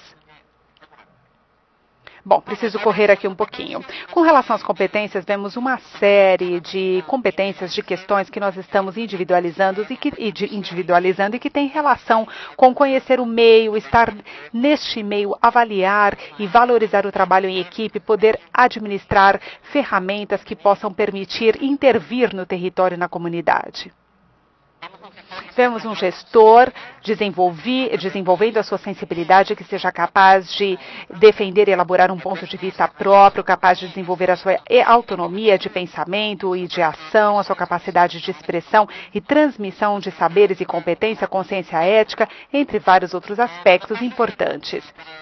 Agora, Eu gostaria de dizer que o setor cultural chileno, nós eh, dizemos que, principalmente no campo da gestão cultural, nós passamos por um processo que nós chamamos de ordenamento do setor e, e que estamos num processo crescente de, crescente de popularidade dessa gestão cultural e que oferece uma grande sensibilização nessa área da gestão. É uma disciplina que ela não está regulamentada, e, de certa forma, nós estamos trabalhando nessa área de uma forma muito intensa. Quais são os aprendizados, então, desta experiência? Essas quatro apostas do programa que nós realizamos, inclusive em, eh, vinculação. Com uma hum, universidade, inclusive pública, nos permitiu uma rápida inserção neste setor cultural, porque a escola ela intervém neste vínculo associativo e permite de uma forma muito rápida e efetiva essa inserção cultural. Nós acreditamos que essa, essa combinação permitiu, inclusive, apostar pela formação de um agente cultural de perfil integral e cultural, que o nosso contexto, inclusive, pelo menos o contexto no qual nós vivemos no meu país, é, diz que foi uma aposta realmente muito correta. Evidentemente, essa experiência nos demonstrou a necessidade de estabelecer pontes entre esse processo de formação e ação cultural, que a academia realmente vem apostando como uma necessidade de transferência de conhecimentos, de ferramentas, metodologia, saber e sentidos com a ação cultural. Então, nós acreditamos que aqui, justamente, essa aposta da gestão cultural é realmente decidir se vamos optar por administrar um problema ou se vai decidir apostar a buscar superação e informações para a solução de determinados problemas. Isso tem a ver com passar essa paixão essa, pela cultura e que isso seja o motor desse eixo cultural. Muito obrigado. Obrigado, Roberto. Bem, nós temos muitas questões aqui de várias áreas específicas, mas acho que seria interessante nós começarmos pelo aprofundamento é, dos critérios de formação de alguns dos cursos que foram abordados aqui. É, nós temos aqui algumas questões específicas sobre o curso do Itaú Cultural e outras sobre a Cátedra, Cátedra Unesco. É, como eu já havia combinado com o professor Teixeira aqui, vou repassar essas para que a gente tenha um aprofundamento sobre algumas questões do curso do Itaú. Uma pergunta da Lígia para o Teixeira Coelho. Em relação ao programa do Observatório do Itaú Cultural, como é configurado o currículo, a estrutura do curso? Como é selecionado o corpo docente e como são acompanhados os alunos formados ou que passam pelo curso, se é que é possível fazer esse acompanhamento? Também em relação a esse curso, o curso do Itaú Cultural é um dos mais concorridos. O que vocês esperam dos candidatos? Como podemos nos preparar para aproveitar melhor o curso? E aí uma, essa foi da Ana. Agora Caterina, com esperanças aqui. Podemos alimentar alguma esperança na ampliação do número de vagas do Itaú Cultural? Nenhuma. O nosso princípio diretivo na formulação do programa do Itaú Cultural, eu falo por minha parte, depois o Alfonso poderá falar dele, né? é tão preciso quanto a navegação com, por meio de astrolábio no século XVI. A gente sai do porto. Aonde a gente vai chegar, podemos chegar até no Brasil, por descuido e por acaso, como vocês estão cansados de saber. O nosso princípio é um princípio de aproximação lateral, a visão lateral. É, é como você tentar olhar uma estrela no céu. Se você olhar para ela, você não a vê. Se você olhar para algum ponto ao lado dela, ela se torna precisa. E o que nós procuramos fazer no, no programa do curso de Itaú Cultural é exatamente olhar para um ponto ao lado, na expectativa e na esperança de que essa olhada jogue uma luz sobre o objeto. E geralmente funciona. É, primeiro, escolhemos, não vou dizer que seja primeiro no sentido de A mais B, etc. e tal, mas, por um lado, escolhemos pessoas com forte carga prática e conceitual, sempre que possível. Isso significa que nós temos no curso, nunca repetimos. Então, talvez, ah, bom, inevitavelmente eu tenho que me repetir, Afonso também tem. Uh, algumas pessoas acabam sendo âncoras, né? nós por obrigação funcional. Uh, nós nunca repetimos muito as pessoas. Né? Eventualmente um dia vamos chegar a um corpo ideal, que pelo menos por um tempo irá se, se estar ali. Mas isso significa que nós temos desde pessoas que, por exemplo, dirigem um centro uh, cultural, geralmente de tamanho expressivo em algum lugar, pode ser na Espanha, na Argentina, no Brasil. Já tivemos pessoas de variados lugares uh, desse planeta, até, por exemplo, ministros da cultura, que uh, não que não sejam políticos. Não, não, não, nos interessa este nível. Não é? Queremos pessoas que eram outras coisas, professores universitários, investigadores, pesquisadores, escritores, e que, em razão disso mesmo, tornaram-se, por exemplo, ministros de cultura. Então, escolhemos esse tipo de pessoa.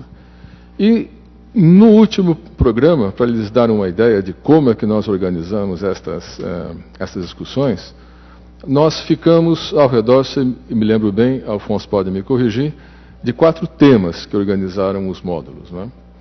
Um deles foi, começando pelos mais evidentes e mais, eh, pelo menos, identificáveis, um módulo dedicado à questão dos direitos culturais, que consideramos é, de fundamental importância. Não como aplicação cega dos documentos oficiais, como, como eu lhes disse, não é? que são importantes, mas sempre na revisão crítica. O ponto fundamental do nosso programa é revisão crítica. É a função da universidade, não é? Ou se vocês quiserem, como dizia Wittgenstein, não é? é sempre imperioso olhar as coisas desde outro ponto de vista. É sempre imperioso mudar a perspectiva pela qual se olha alguma coisa. Então, organizamos o curso inteirinho ao redor do tema dos direitos culturais. Segundo tema, a avaliação em gestão cultural, em política cultural? Quais são os princípios? Quais são os limites? Quais são as possibilidades? É? Como se traduz isto em números ou não se traduz? Por que se traduz? Por que não, não se traduz? Um terceiro tema, a institucionalidade da cultura. Como é que a gestão da cultura se organiza nas diferentes experiências nacionais? O Ministério, o Ministério da Cultura é importante, é fundamental, é nocivo, é maléfico. Uh, secretarias são importantes. Qual é o papel da sociedade civil? Qual é a porcentagem que deve estar a cada, a, a cada iniciativa, a pública ou a privada? Este foi um terceiro tema. Um quarto tema foi os princípios, a teoria da gestão cultural em si. Um tema que Alfonso desenvolve ao longo de todo o programa. E um quinto tema, ou sexto, já me perdi um pouco, mas enfim. Uh, cultura. O que é isto? Como que cultura se diferencia de arte? Quais são as visões contemporâneas de cultura? A, a biologia tem alguma coisa a dizer sobre a cultura? Muda alguma coisa? A bioética tem alguma coisa a ver com cultura? Estes temas nós temos, mantivemos, eu creio, se não me falha a memória, estáveis ao longo do segundo ano e do terceiro ano, embora tenham mudado as pessoas em algumas circunstâncias, e certamente mudou o conteúdo. A grande vantagem de nós estarmos no Itaú Cultural, com o amparo da Universidade de Girômana, é que não temos a necessidade de prestar contas a MEC, CNPq, o raio que o parta. Nós fazemos o programa que nós queremos. Isto é autonomia de docência e de investigação no seu sentido mais pleno. Não sei se respondi um pouco a questão. Acho que só para complementar, Teixeira, se você puder falar aqui com relação à pergunta da Ana, o que vocês esperam dos candidatos, as pessoas que querem concorrer a uma vaga dessa? Como é que as pessoas se Nós temos requisitos formais eh, que nós tivemos que impor a partir da avalanche que foi a primeira experiência com 3 mil candidatos e 30 vagas. Uma loucura total. Ultimamente nós estamos pedindo eh, dois anos, Alfonso, ou três anos de experiência? Não, três.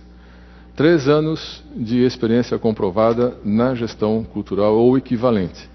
Então, vamos supor um professor de, é, de, gestão cultural, etc. e tal, mas três anos nesta é, como atividade básica. Esse é o, é o, primeiro grande requisito, que esteja dentro da área, é, Uh, os, o número de profissionais é tão, sempre tão elevado que nunca conseguimos, de fato, abrir um, uma fileira para, aqueles que têm intenção de vir a fazer parte do sistema. É? Então, esse é basicamente o grande requisito.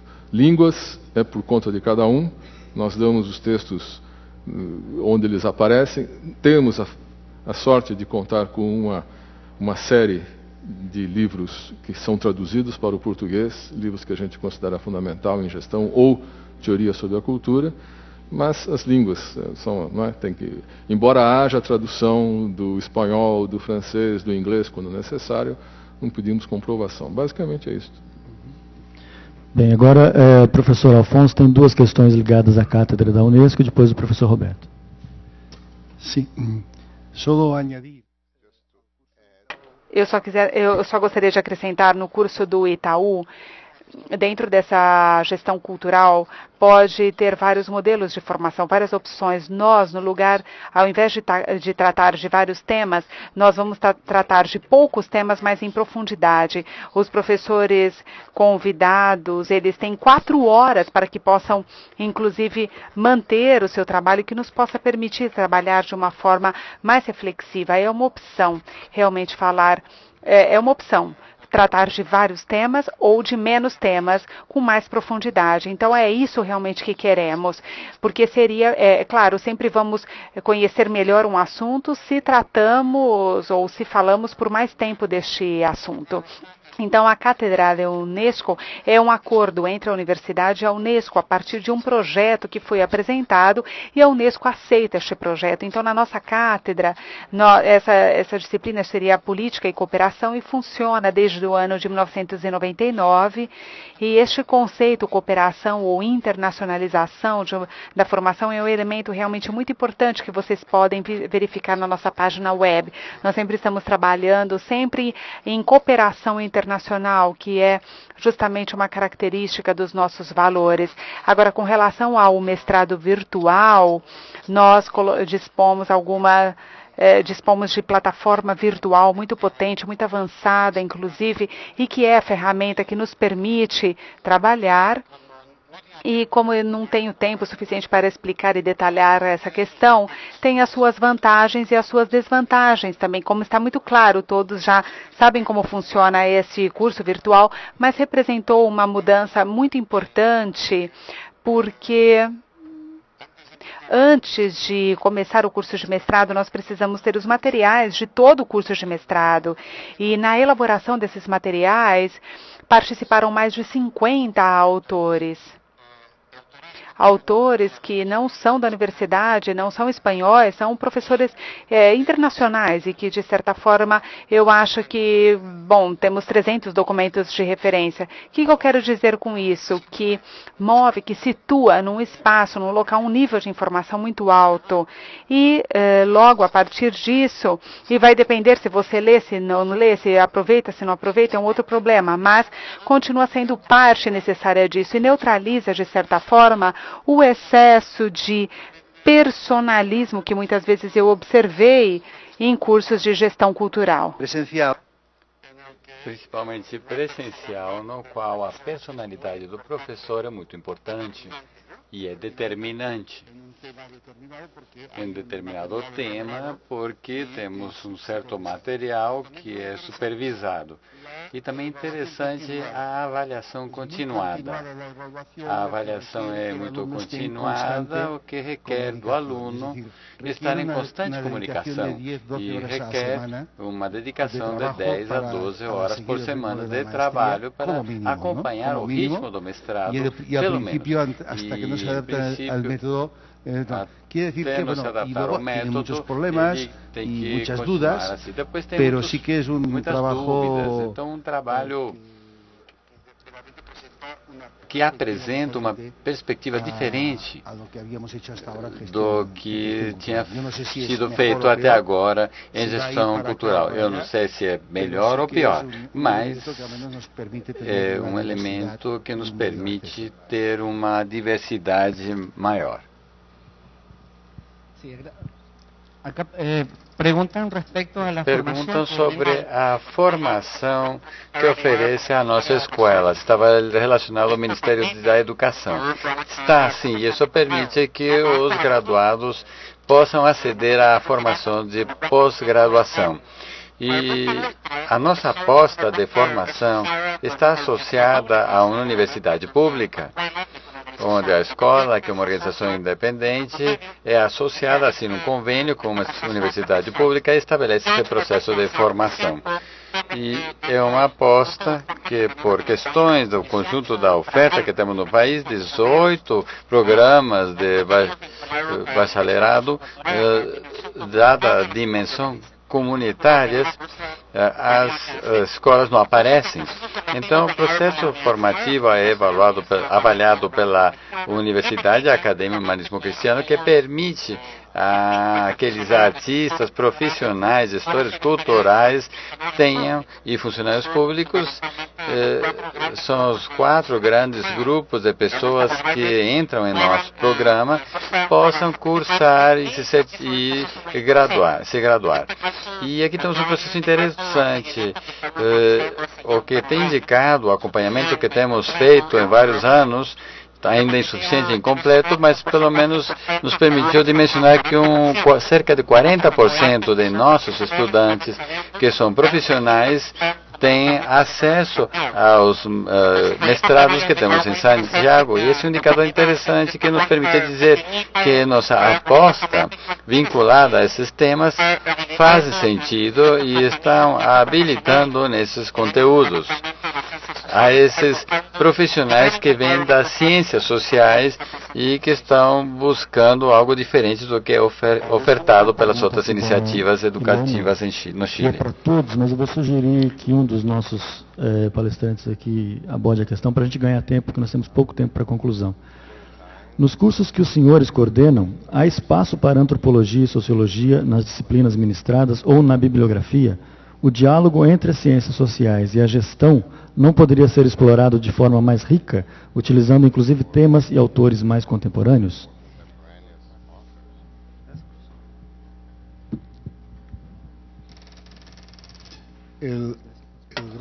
O grande problema quando um perfil de gestor cultural é definido de forma bastante ampla, é que você relaciona ele, ele com muitas disciplinas. E você não pode dar todas essas matérias, porque é impossível por questões de tempo, senão você vai criar um monstro. Então, o grande problema nesse programa, o que, que eu vou selecionar da antropologia, da antropologia, da sociologia, da política, que elementos vou selecionar para completar essa formação? É um trabalho delicado, difícil e às vezes incompleto. E realmente nós estamos trabalhando com muitas referências contemporâneas, porque a pesquisa no campo da cultura ha avançado muito e no campo da gestão política, economia da, economia da cultura também temos bibliografia muito contemporânea. Às vezes há referências à literatura científica mais clássica, porque também os clássicos têm conteúdo contemporâneo um livro editado há um século não significa que não tenha alta contemporaneidade, depende um pouco da interpretação dada num programa de formação. Mas é difícil a extração de conteúdos de diferentes disciplinas. Então, para não se focar apenas em uma. E eu acho que às vezes o mais importante é dar a carta de navegação para que o aluno se aprofunda na disciplina que ele julgue necessário de acordo com o contexto. Eu posso dizer, por exemplo, que eh, eu devo ter um nível de formação em economia médio, mas se eu preciso administrar 50 milhões de dólares por ano e 100 pessoas, eu terei que buscar um complemento de formação, um complemento de formação para me adaptar a essa nova função. Um mestrado e um curso não pode dar tudo, dá uh, dicas, mas não dá todo. Você toca um pouco economia, um pouco com comunicação, mas às vezes você precisará aprofundar mais. E também um curso de formação em gestão cultural deve conectar com, com aquelas áreas que você não conhece.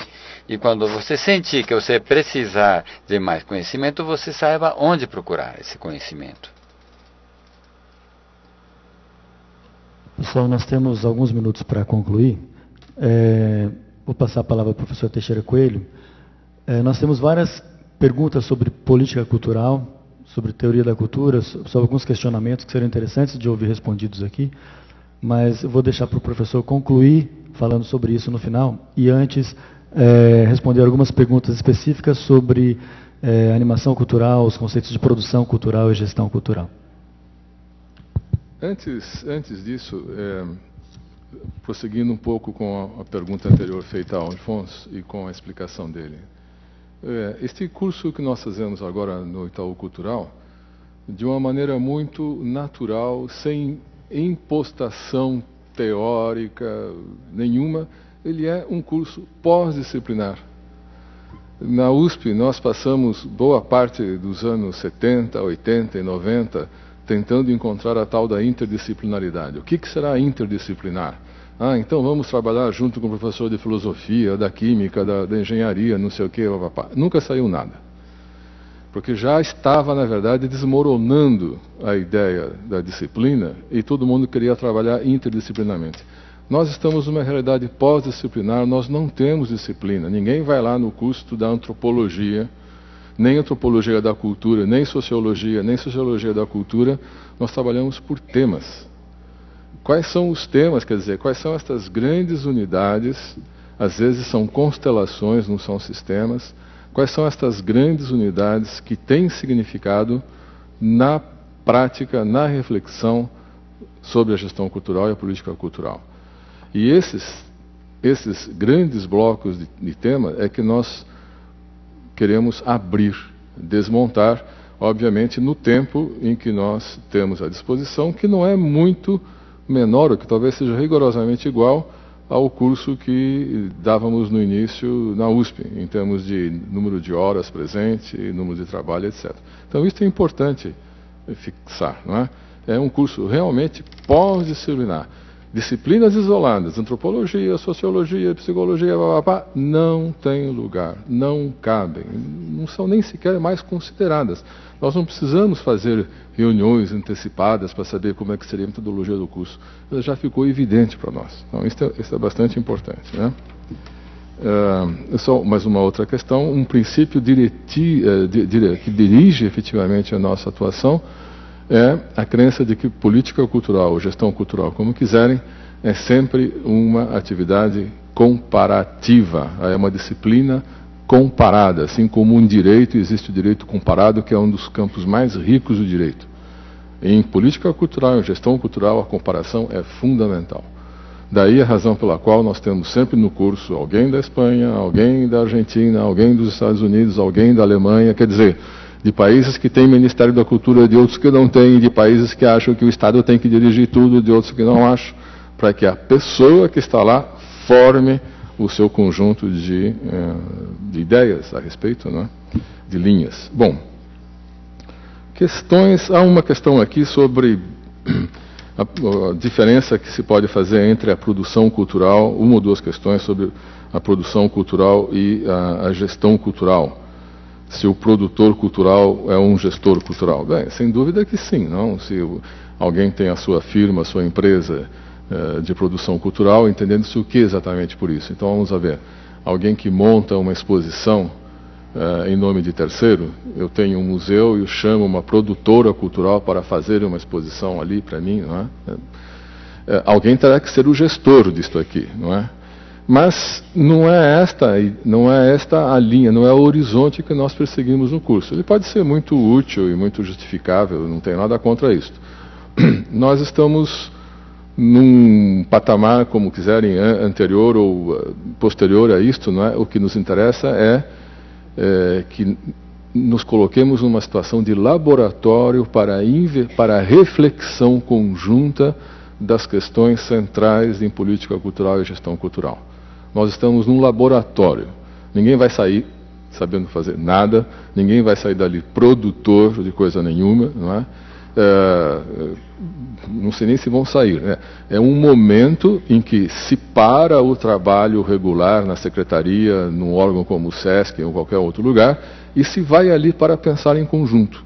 Um grande cérebro coletivo tentando chegar às questões, não é?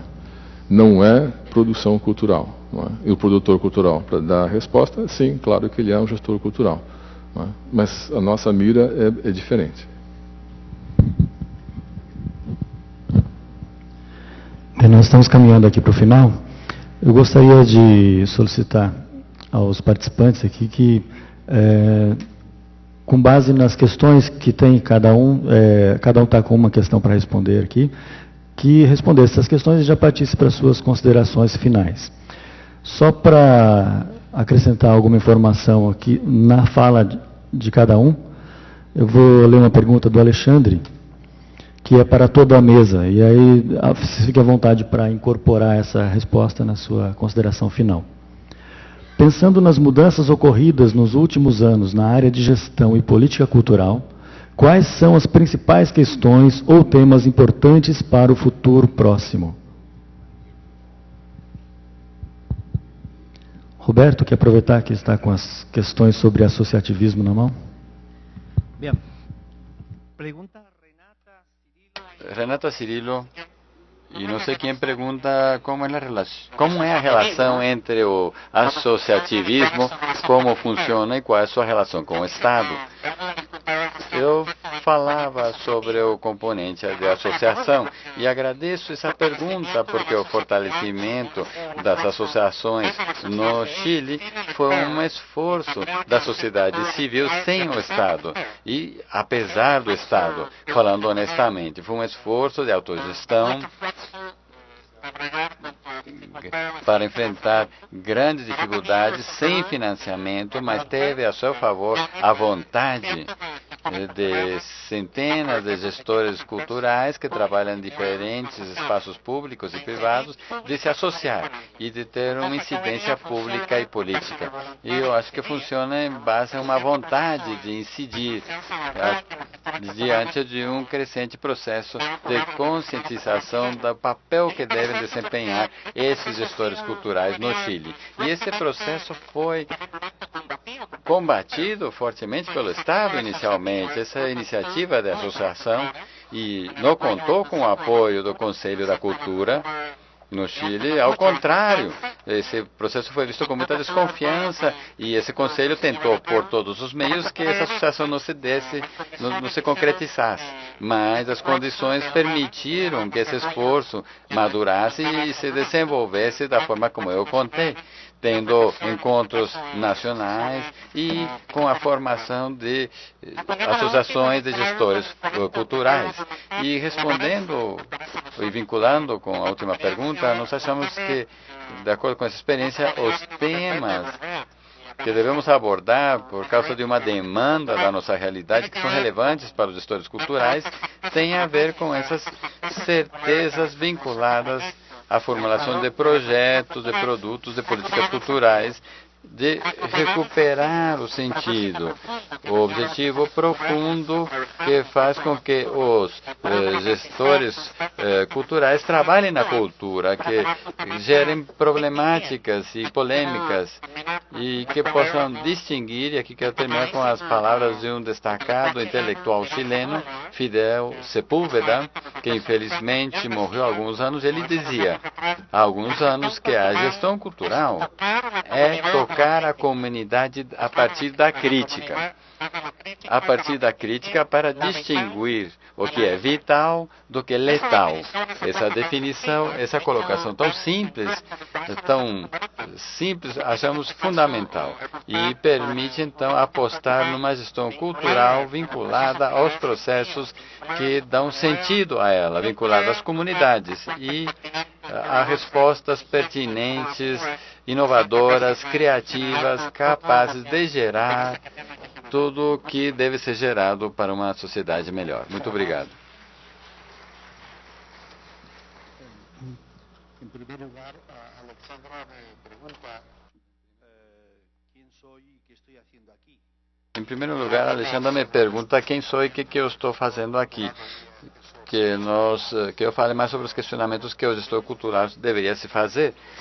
Quem é você e o que eu estou fazendo aqui? Não sei, mas nós devemos colocar quais são seus interesses, em que você está trabalhando, seu, seu interesse é para eh, uma participação cidadã na, na vida cultural, ou você quer ter uma participação mais pro- profissional ou mais participativa, mais, mais comprometiva? Em que atua? Quais, em que setores, eh, setores você gostaria de trabalhar? Né? Essas são as perguntas que um gestor cultural deveria se fazer para saber se essa atividade é significativa para ele, para ele se encontra uma identidade. A outra parte da identidade que não é defini- defe- definida pelo indivíduo, mas pela sociedade. Quando eu recebo um, um cargo para fazer alguma coisa, a minha atitude muda, porque eh, essa posição social eh, faz com que eu tenha que realizar um trabalho que eu aceitei. E para responder essa pergunta eh, prospectiva, eu acho que estamos diante de um momento muito crítico sobre muitos conceitos sobre a gestão cultural e as políticas culturais. Eu, eu tenho interesse em desconstruir muitos dos discursos feitos nos últimos anos. Eu acho que cometemos um e- erro de aceitar trabalhar em políticas culturais sem fundamentos nos direitos fundamentais. As políticas culturais foram construções feitas a partir do poder do Estado e não a partir dos direitos fundamentais das pessoas.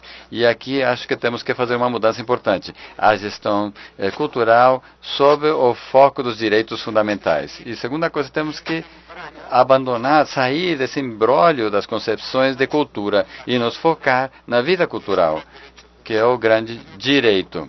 A vida cultural como um fenômeno, como um lugar onde se dá o encontro. E cada vez mais a vida cultural das nossas sociedades, uma vida cultural onde há muitas culturas que convivem juntas. Então temos que mudar a perspectiva do conceito de cultura, de Estado, para procurar um conceito de cultura na vida cultural que não é a mesma construção. Acho que devemos estar muito atentos aos novos agentes e atores sociais. O ator Estado tem que permanecer, mas tem que ser um Estado diferente. Mas também temos que ter novos protagonistas, novas formas de criação. Muitos desses atores não se identificam como atores culturais, mas eles são. E aí está o futuro de um país. Devemos lutar contra conceições muito clássicas da cultura,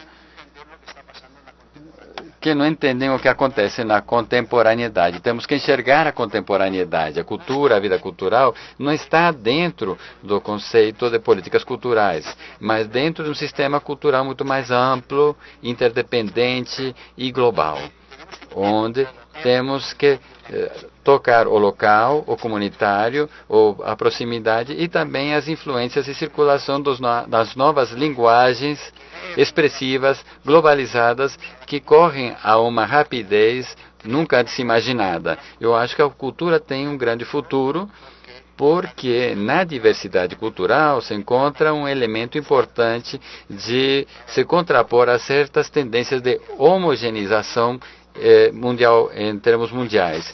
E aqui a crise atual é a crise do Estado-nação.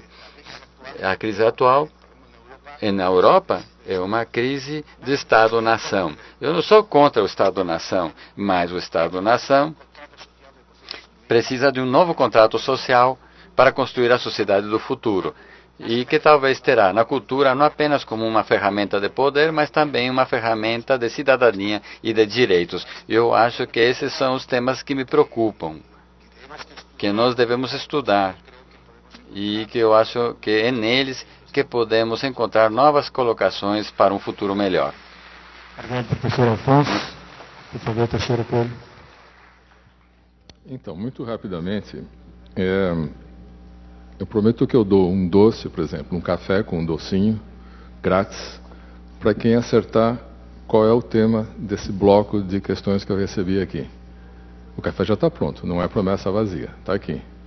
Dou-lhe uma, dou-lhe duas, dou-lhe três. Acertaram. Ideologia e cultura. Não vou responder sobre ideologia e cultura.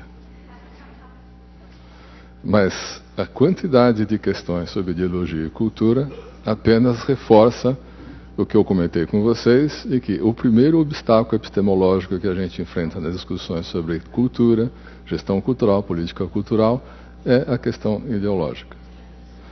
Não é que eu ache que ideologia pode deixar de existir ou ela é incontornável, não é essa a questão. Não é? Todo um bom tempo da década de 60 e 70 foi ocupado exatamente com esta pergunta, que acho que hoje já está claro que não tem muito sentido, quer dizer, como é que se faz a passagem da ideologia para a ciência? Não se faz essa passagem. Né? Não existe uma cesura epistemológica entre ideologia e ciência, não é verdade?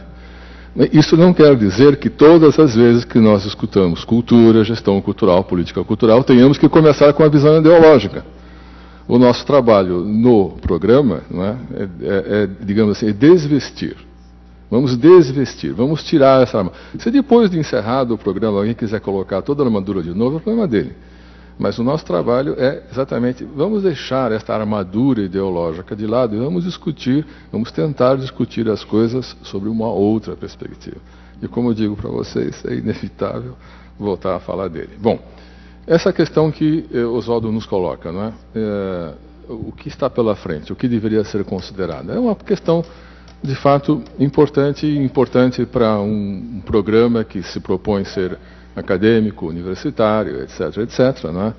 É, enfim, estamos longe ainda de chegar a qualquer objetivo ainda mais sólido nesta, nesta linha de uma proposição acadêmica, etc. e tal, mas temos que segui-la. E o primeiro, a primeira questão que se coloca é, para a universidade, para estas ciências, né, ciências humanas, que não sei se são bem chamadas de ciências ou não, é exatamente a possibilidade de prever. Não é? Ciência, a melhor definição de ciência é esta, quer dizer, ciência é um conjunto de elementos significantes e princípios que permite fazer previsões com um grau adequado, com um grau aceitável de verificação. Isso é ciência, não é verdade? Eu jogo, eu, eu jogo uma caneta aqui e eu tenho que saber prever que se eu jogar uma caneta lá no terceiro andar, ela vai se comportar da mesma maneira. Podemos fazer isso em ciências humanas? Podemos fazer isto em, em política cultural ou em gestão cultural? Esta é a grande questão. No entanto, é claramente é possível dizer que nós temos aqui no Brasil algumas questões prementes que se colocam ali à frente apenas porque até agora não foram enfrentadas. Uma dessas questões fundamentais, no meu modo de entender, que está aberta para a gestão da cultura, para a política cultural, é a questão que diz respeito às relações entre cultura e educação. Ponto final. É a grande questão. Não é o financiamento da cultura. Não é a democratização da cultura, levar não sei o que para lá, levar para cá, pá, pá, não é cidadania cultural, essa palavra que é um fantasma, é um espectro assombrando todo mundo, não é? Vocês vão na Avenida Paulista, não sei se já tiveram a hombridade de tirar de lá, mas na Avenida Rebouças, por exemplo, não é? há uma faixa de rolamento de trânsito que se chama a faixa cidadã. Ah, vá plantar batata, meu. Então a faixa daqui não é cidadã, a faixa daqui não é cidadã, esta faixa é cidadã, vá plantar batata. Temos que acabar com estas, este escolho, este, este escolho epistemológico e tratar das questões centrais. Uma das questões centrais no, Brasil são as relações entre cultura e educação, que estão na base do outro problema um pouquinho maior, que são as questões entre cultura e desenvolvimento. Se não atacarmos por baixo, não vamos chegar lá, como não estamos chegando lá. Eu descobri ontem que um único atleta norte-americano, o Phelps, que vocês devem conhecer, sozinho está na 16ª posição nas Olimpíadas, seja isso o que vale, enquanto o Brasil está na 53ª.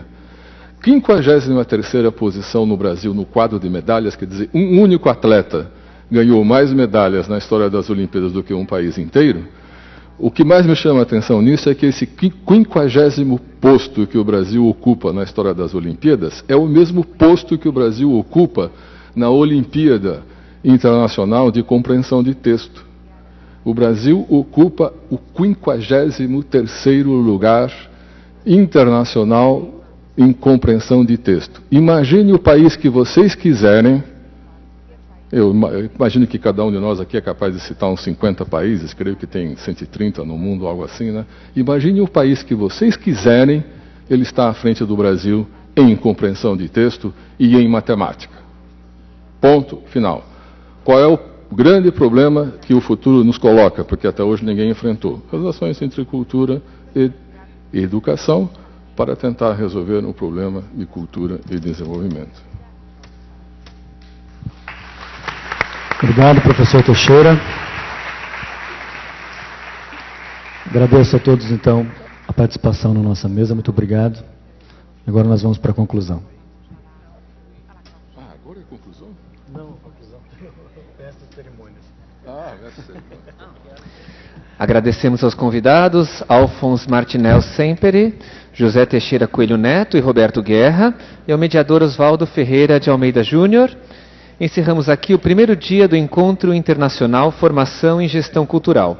Retomaremos os trabalhos amanhã, quinta-feira, às 10 horas, neste teatro. Obrigado, querido. Não, não tem problema.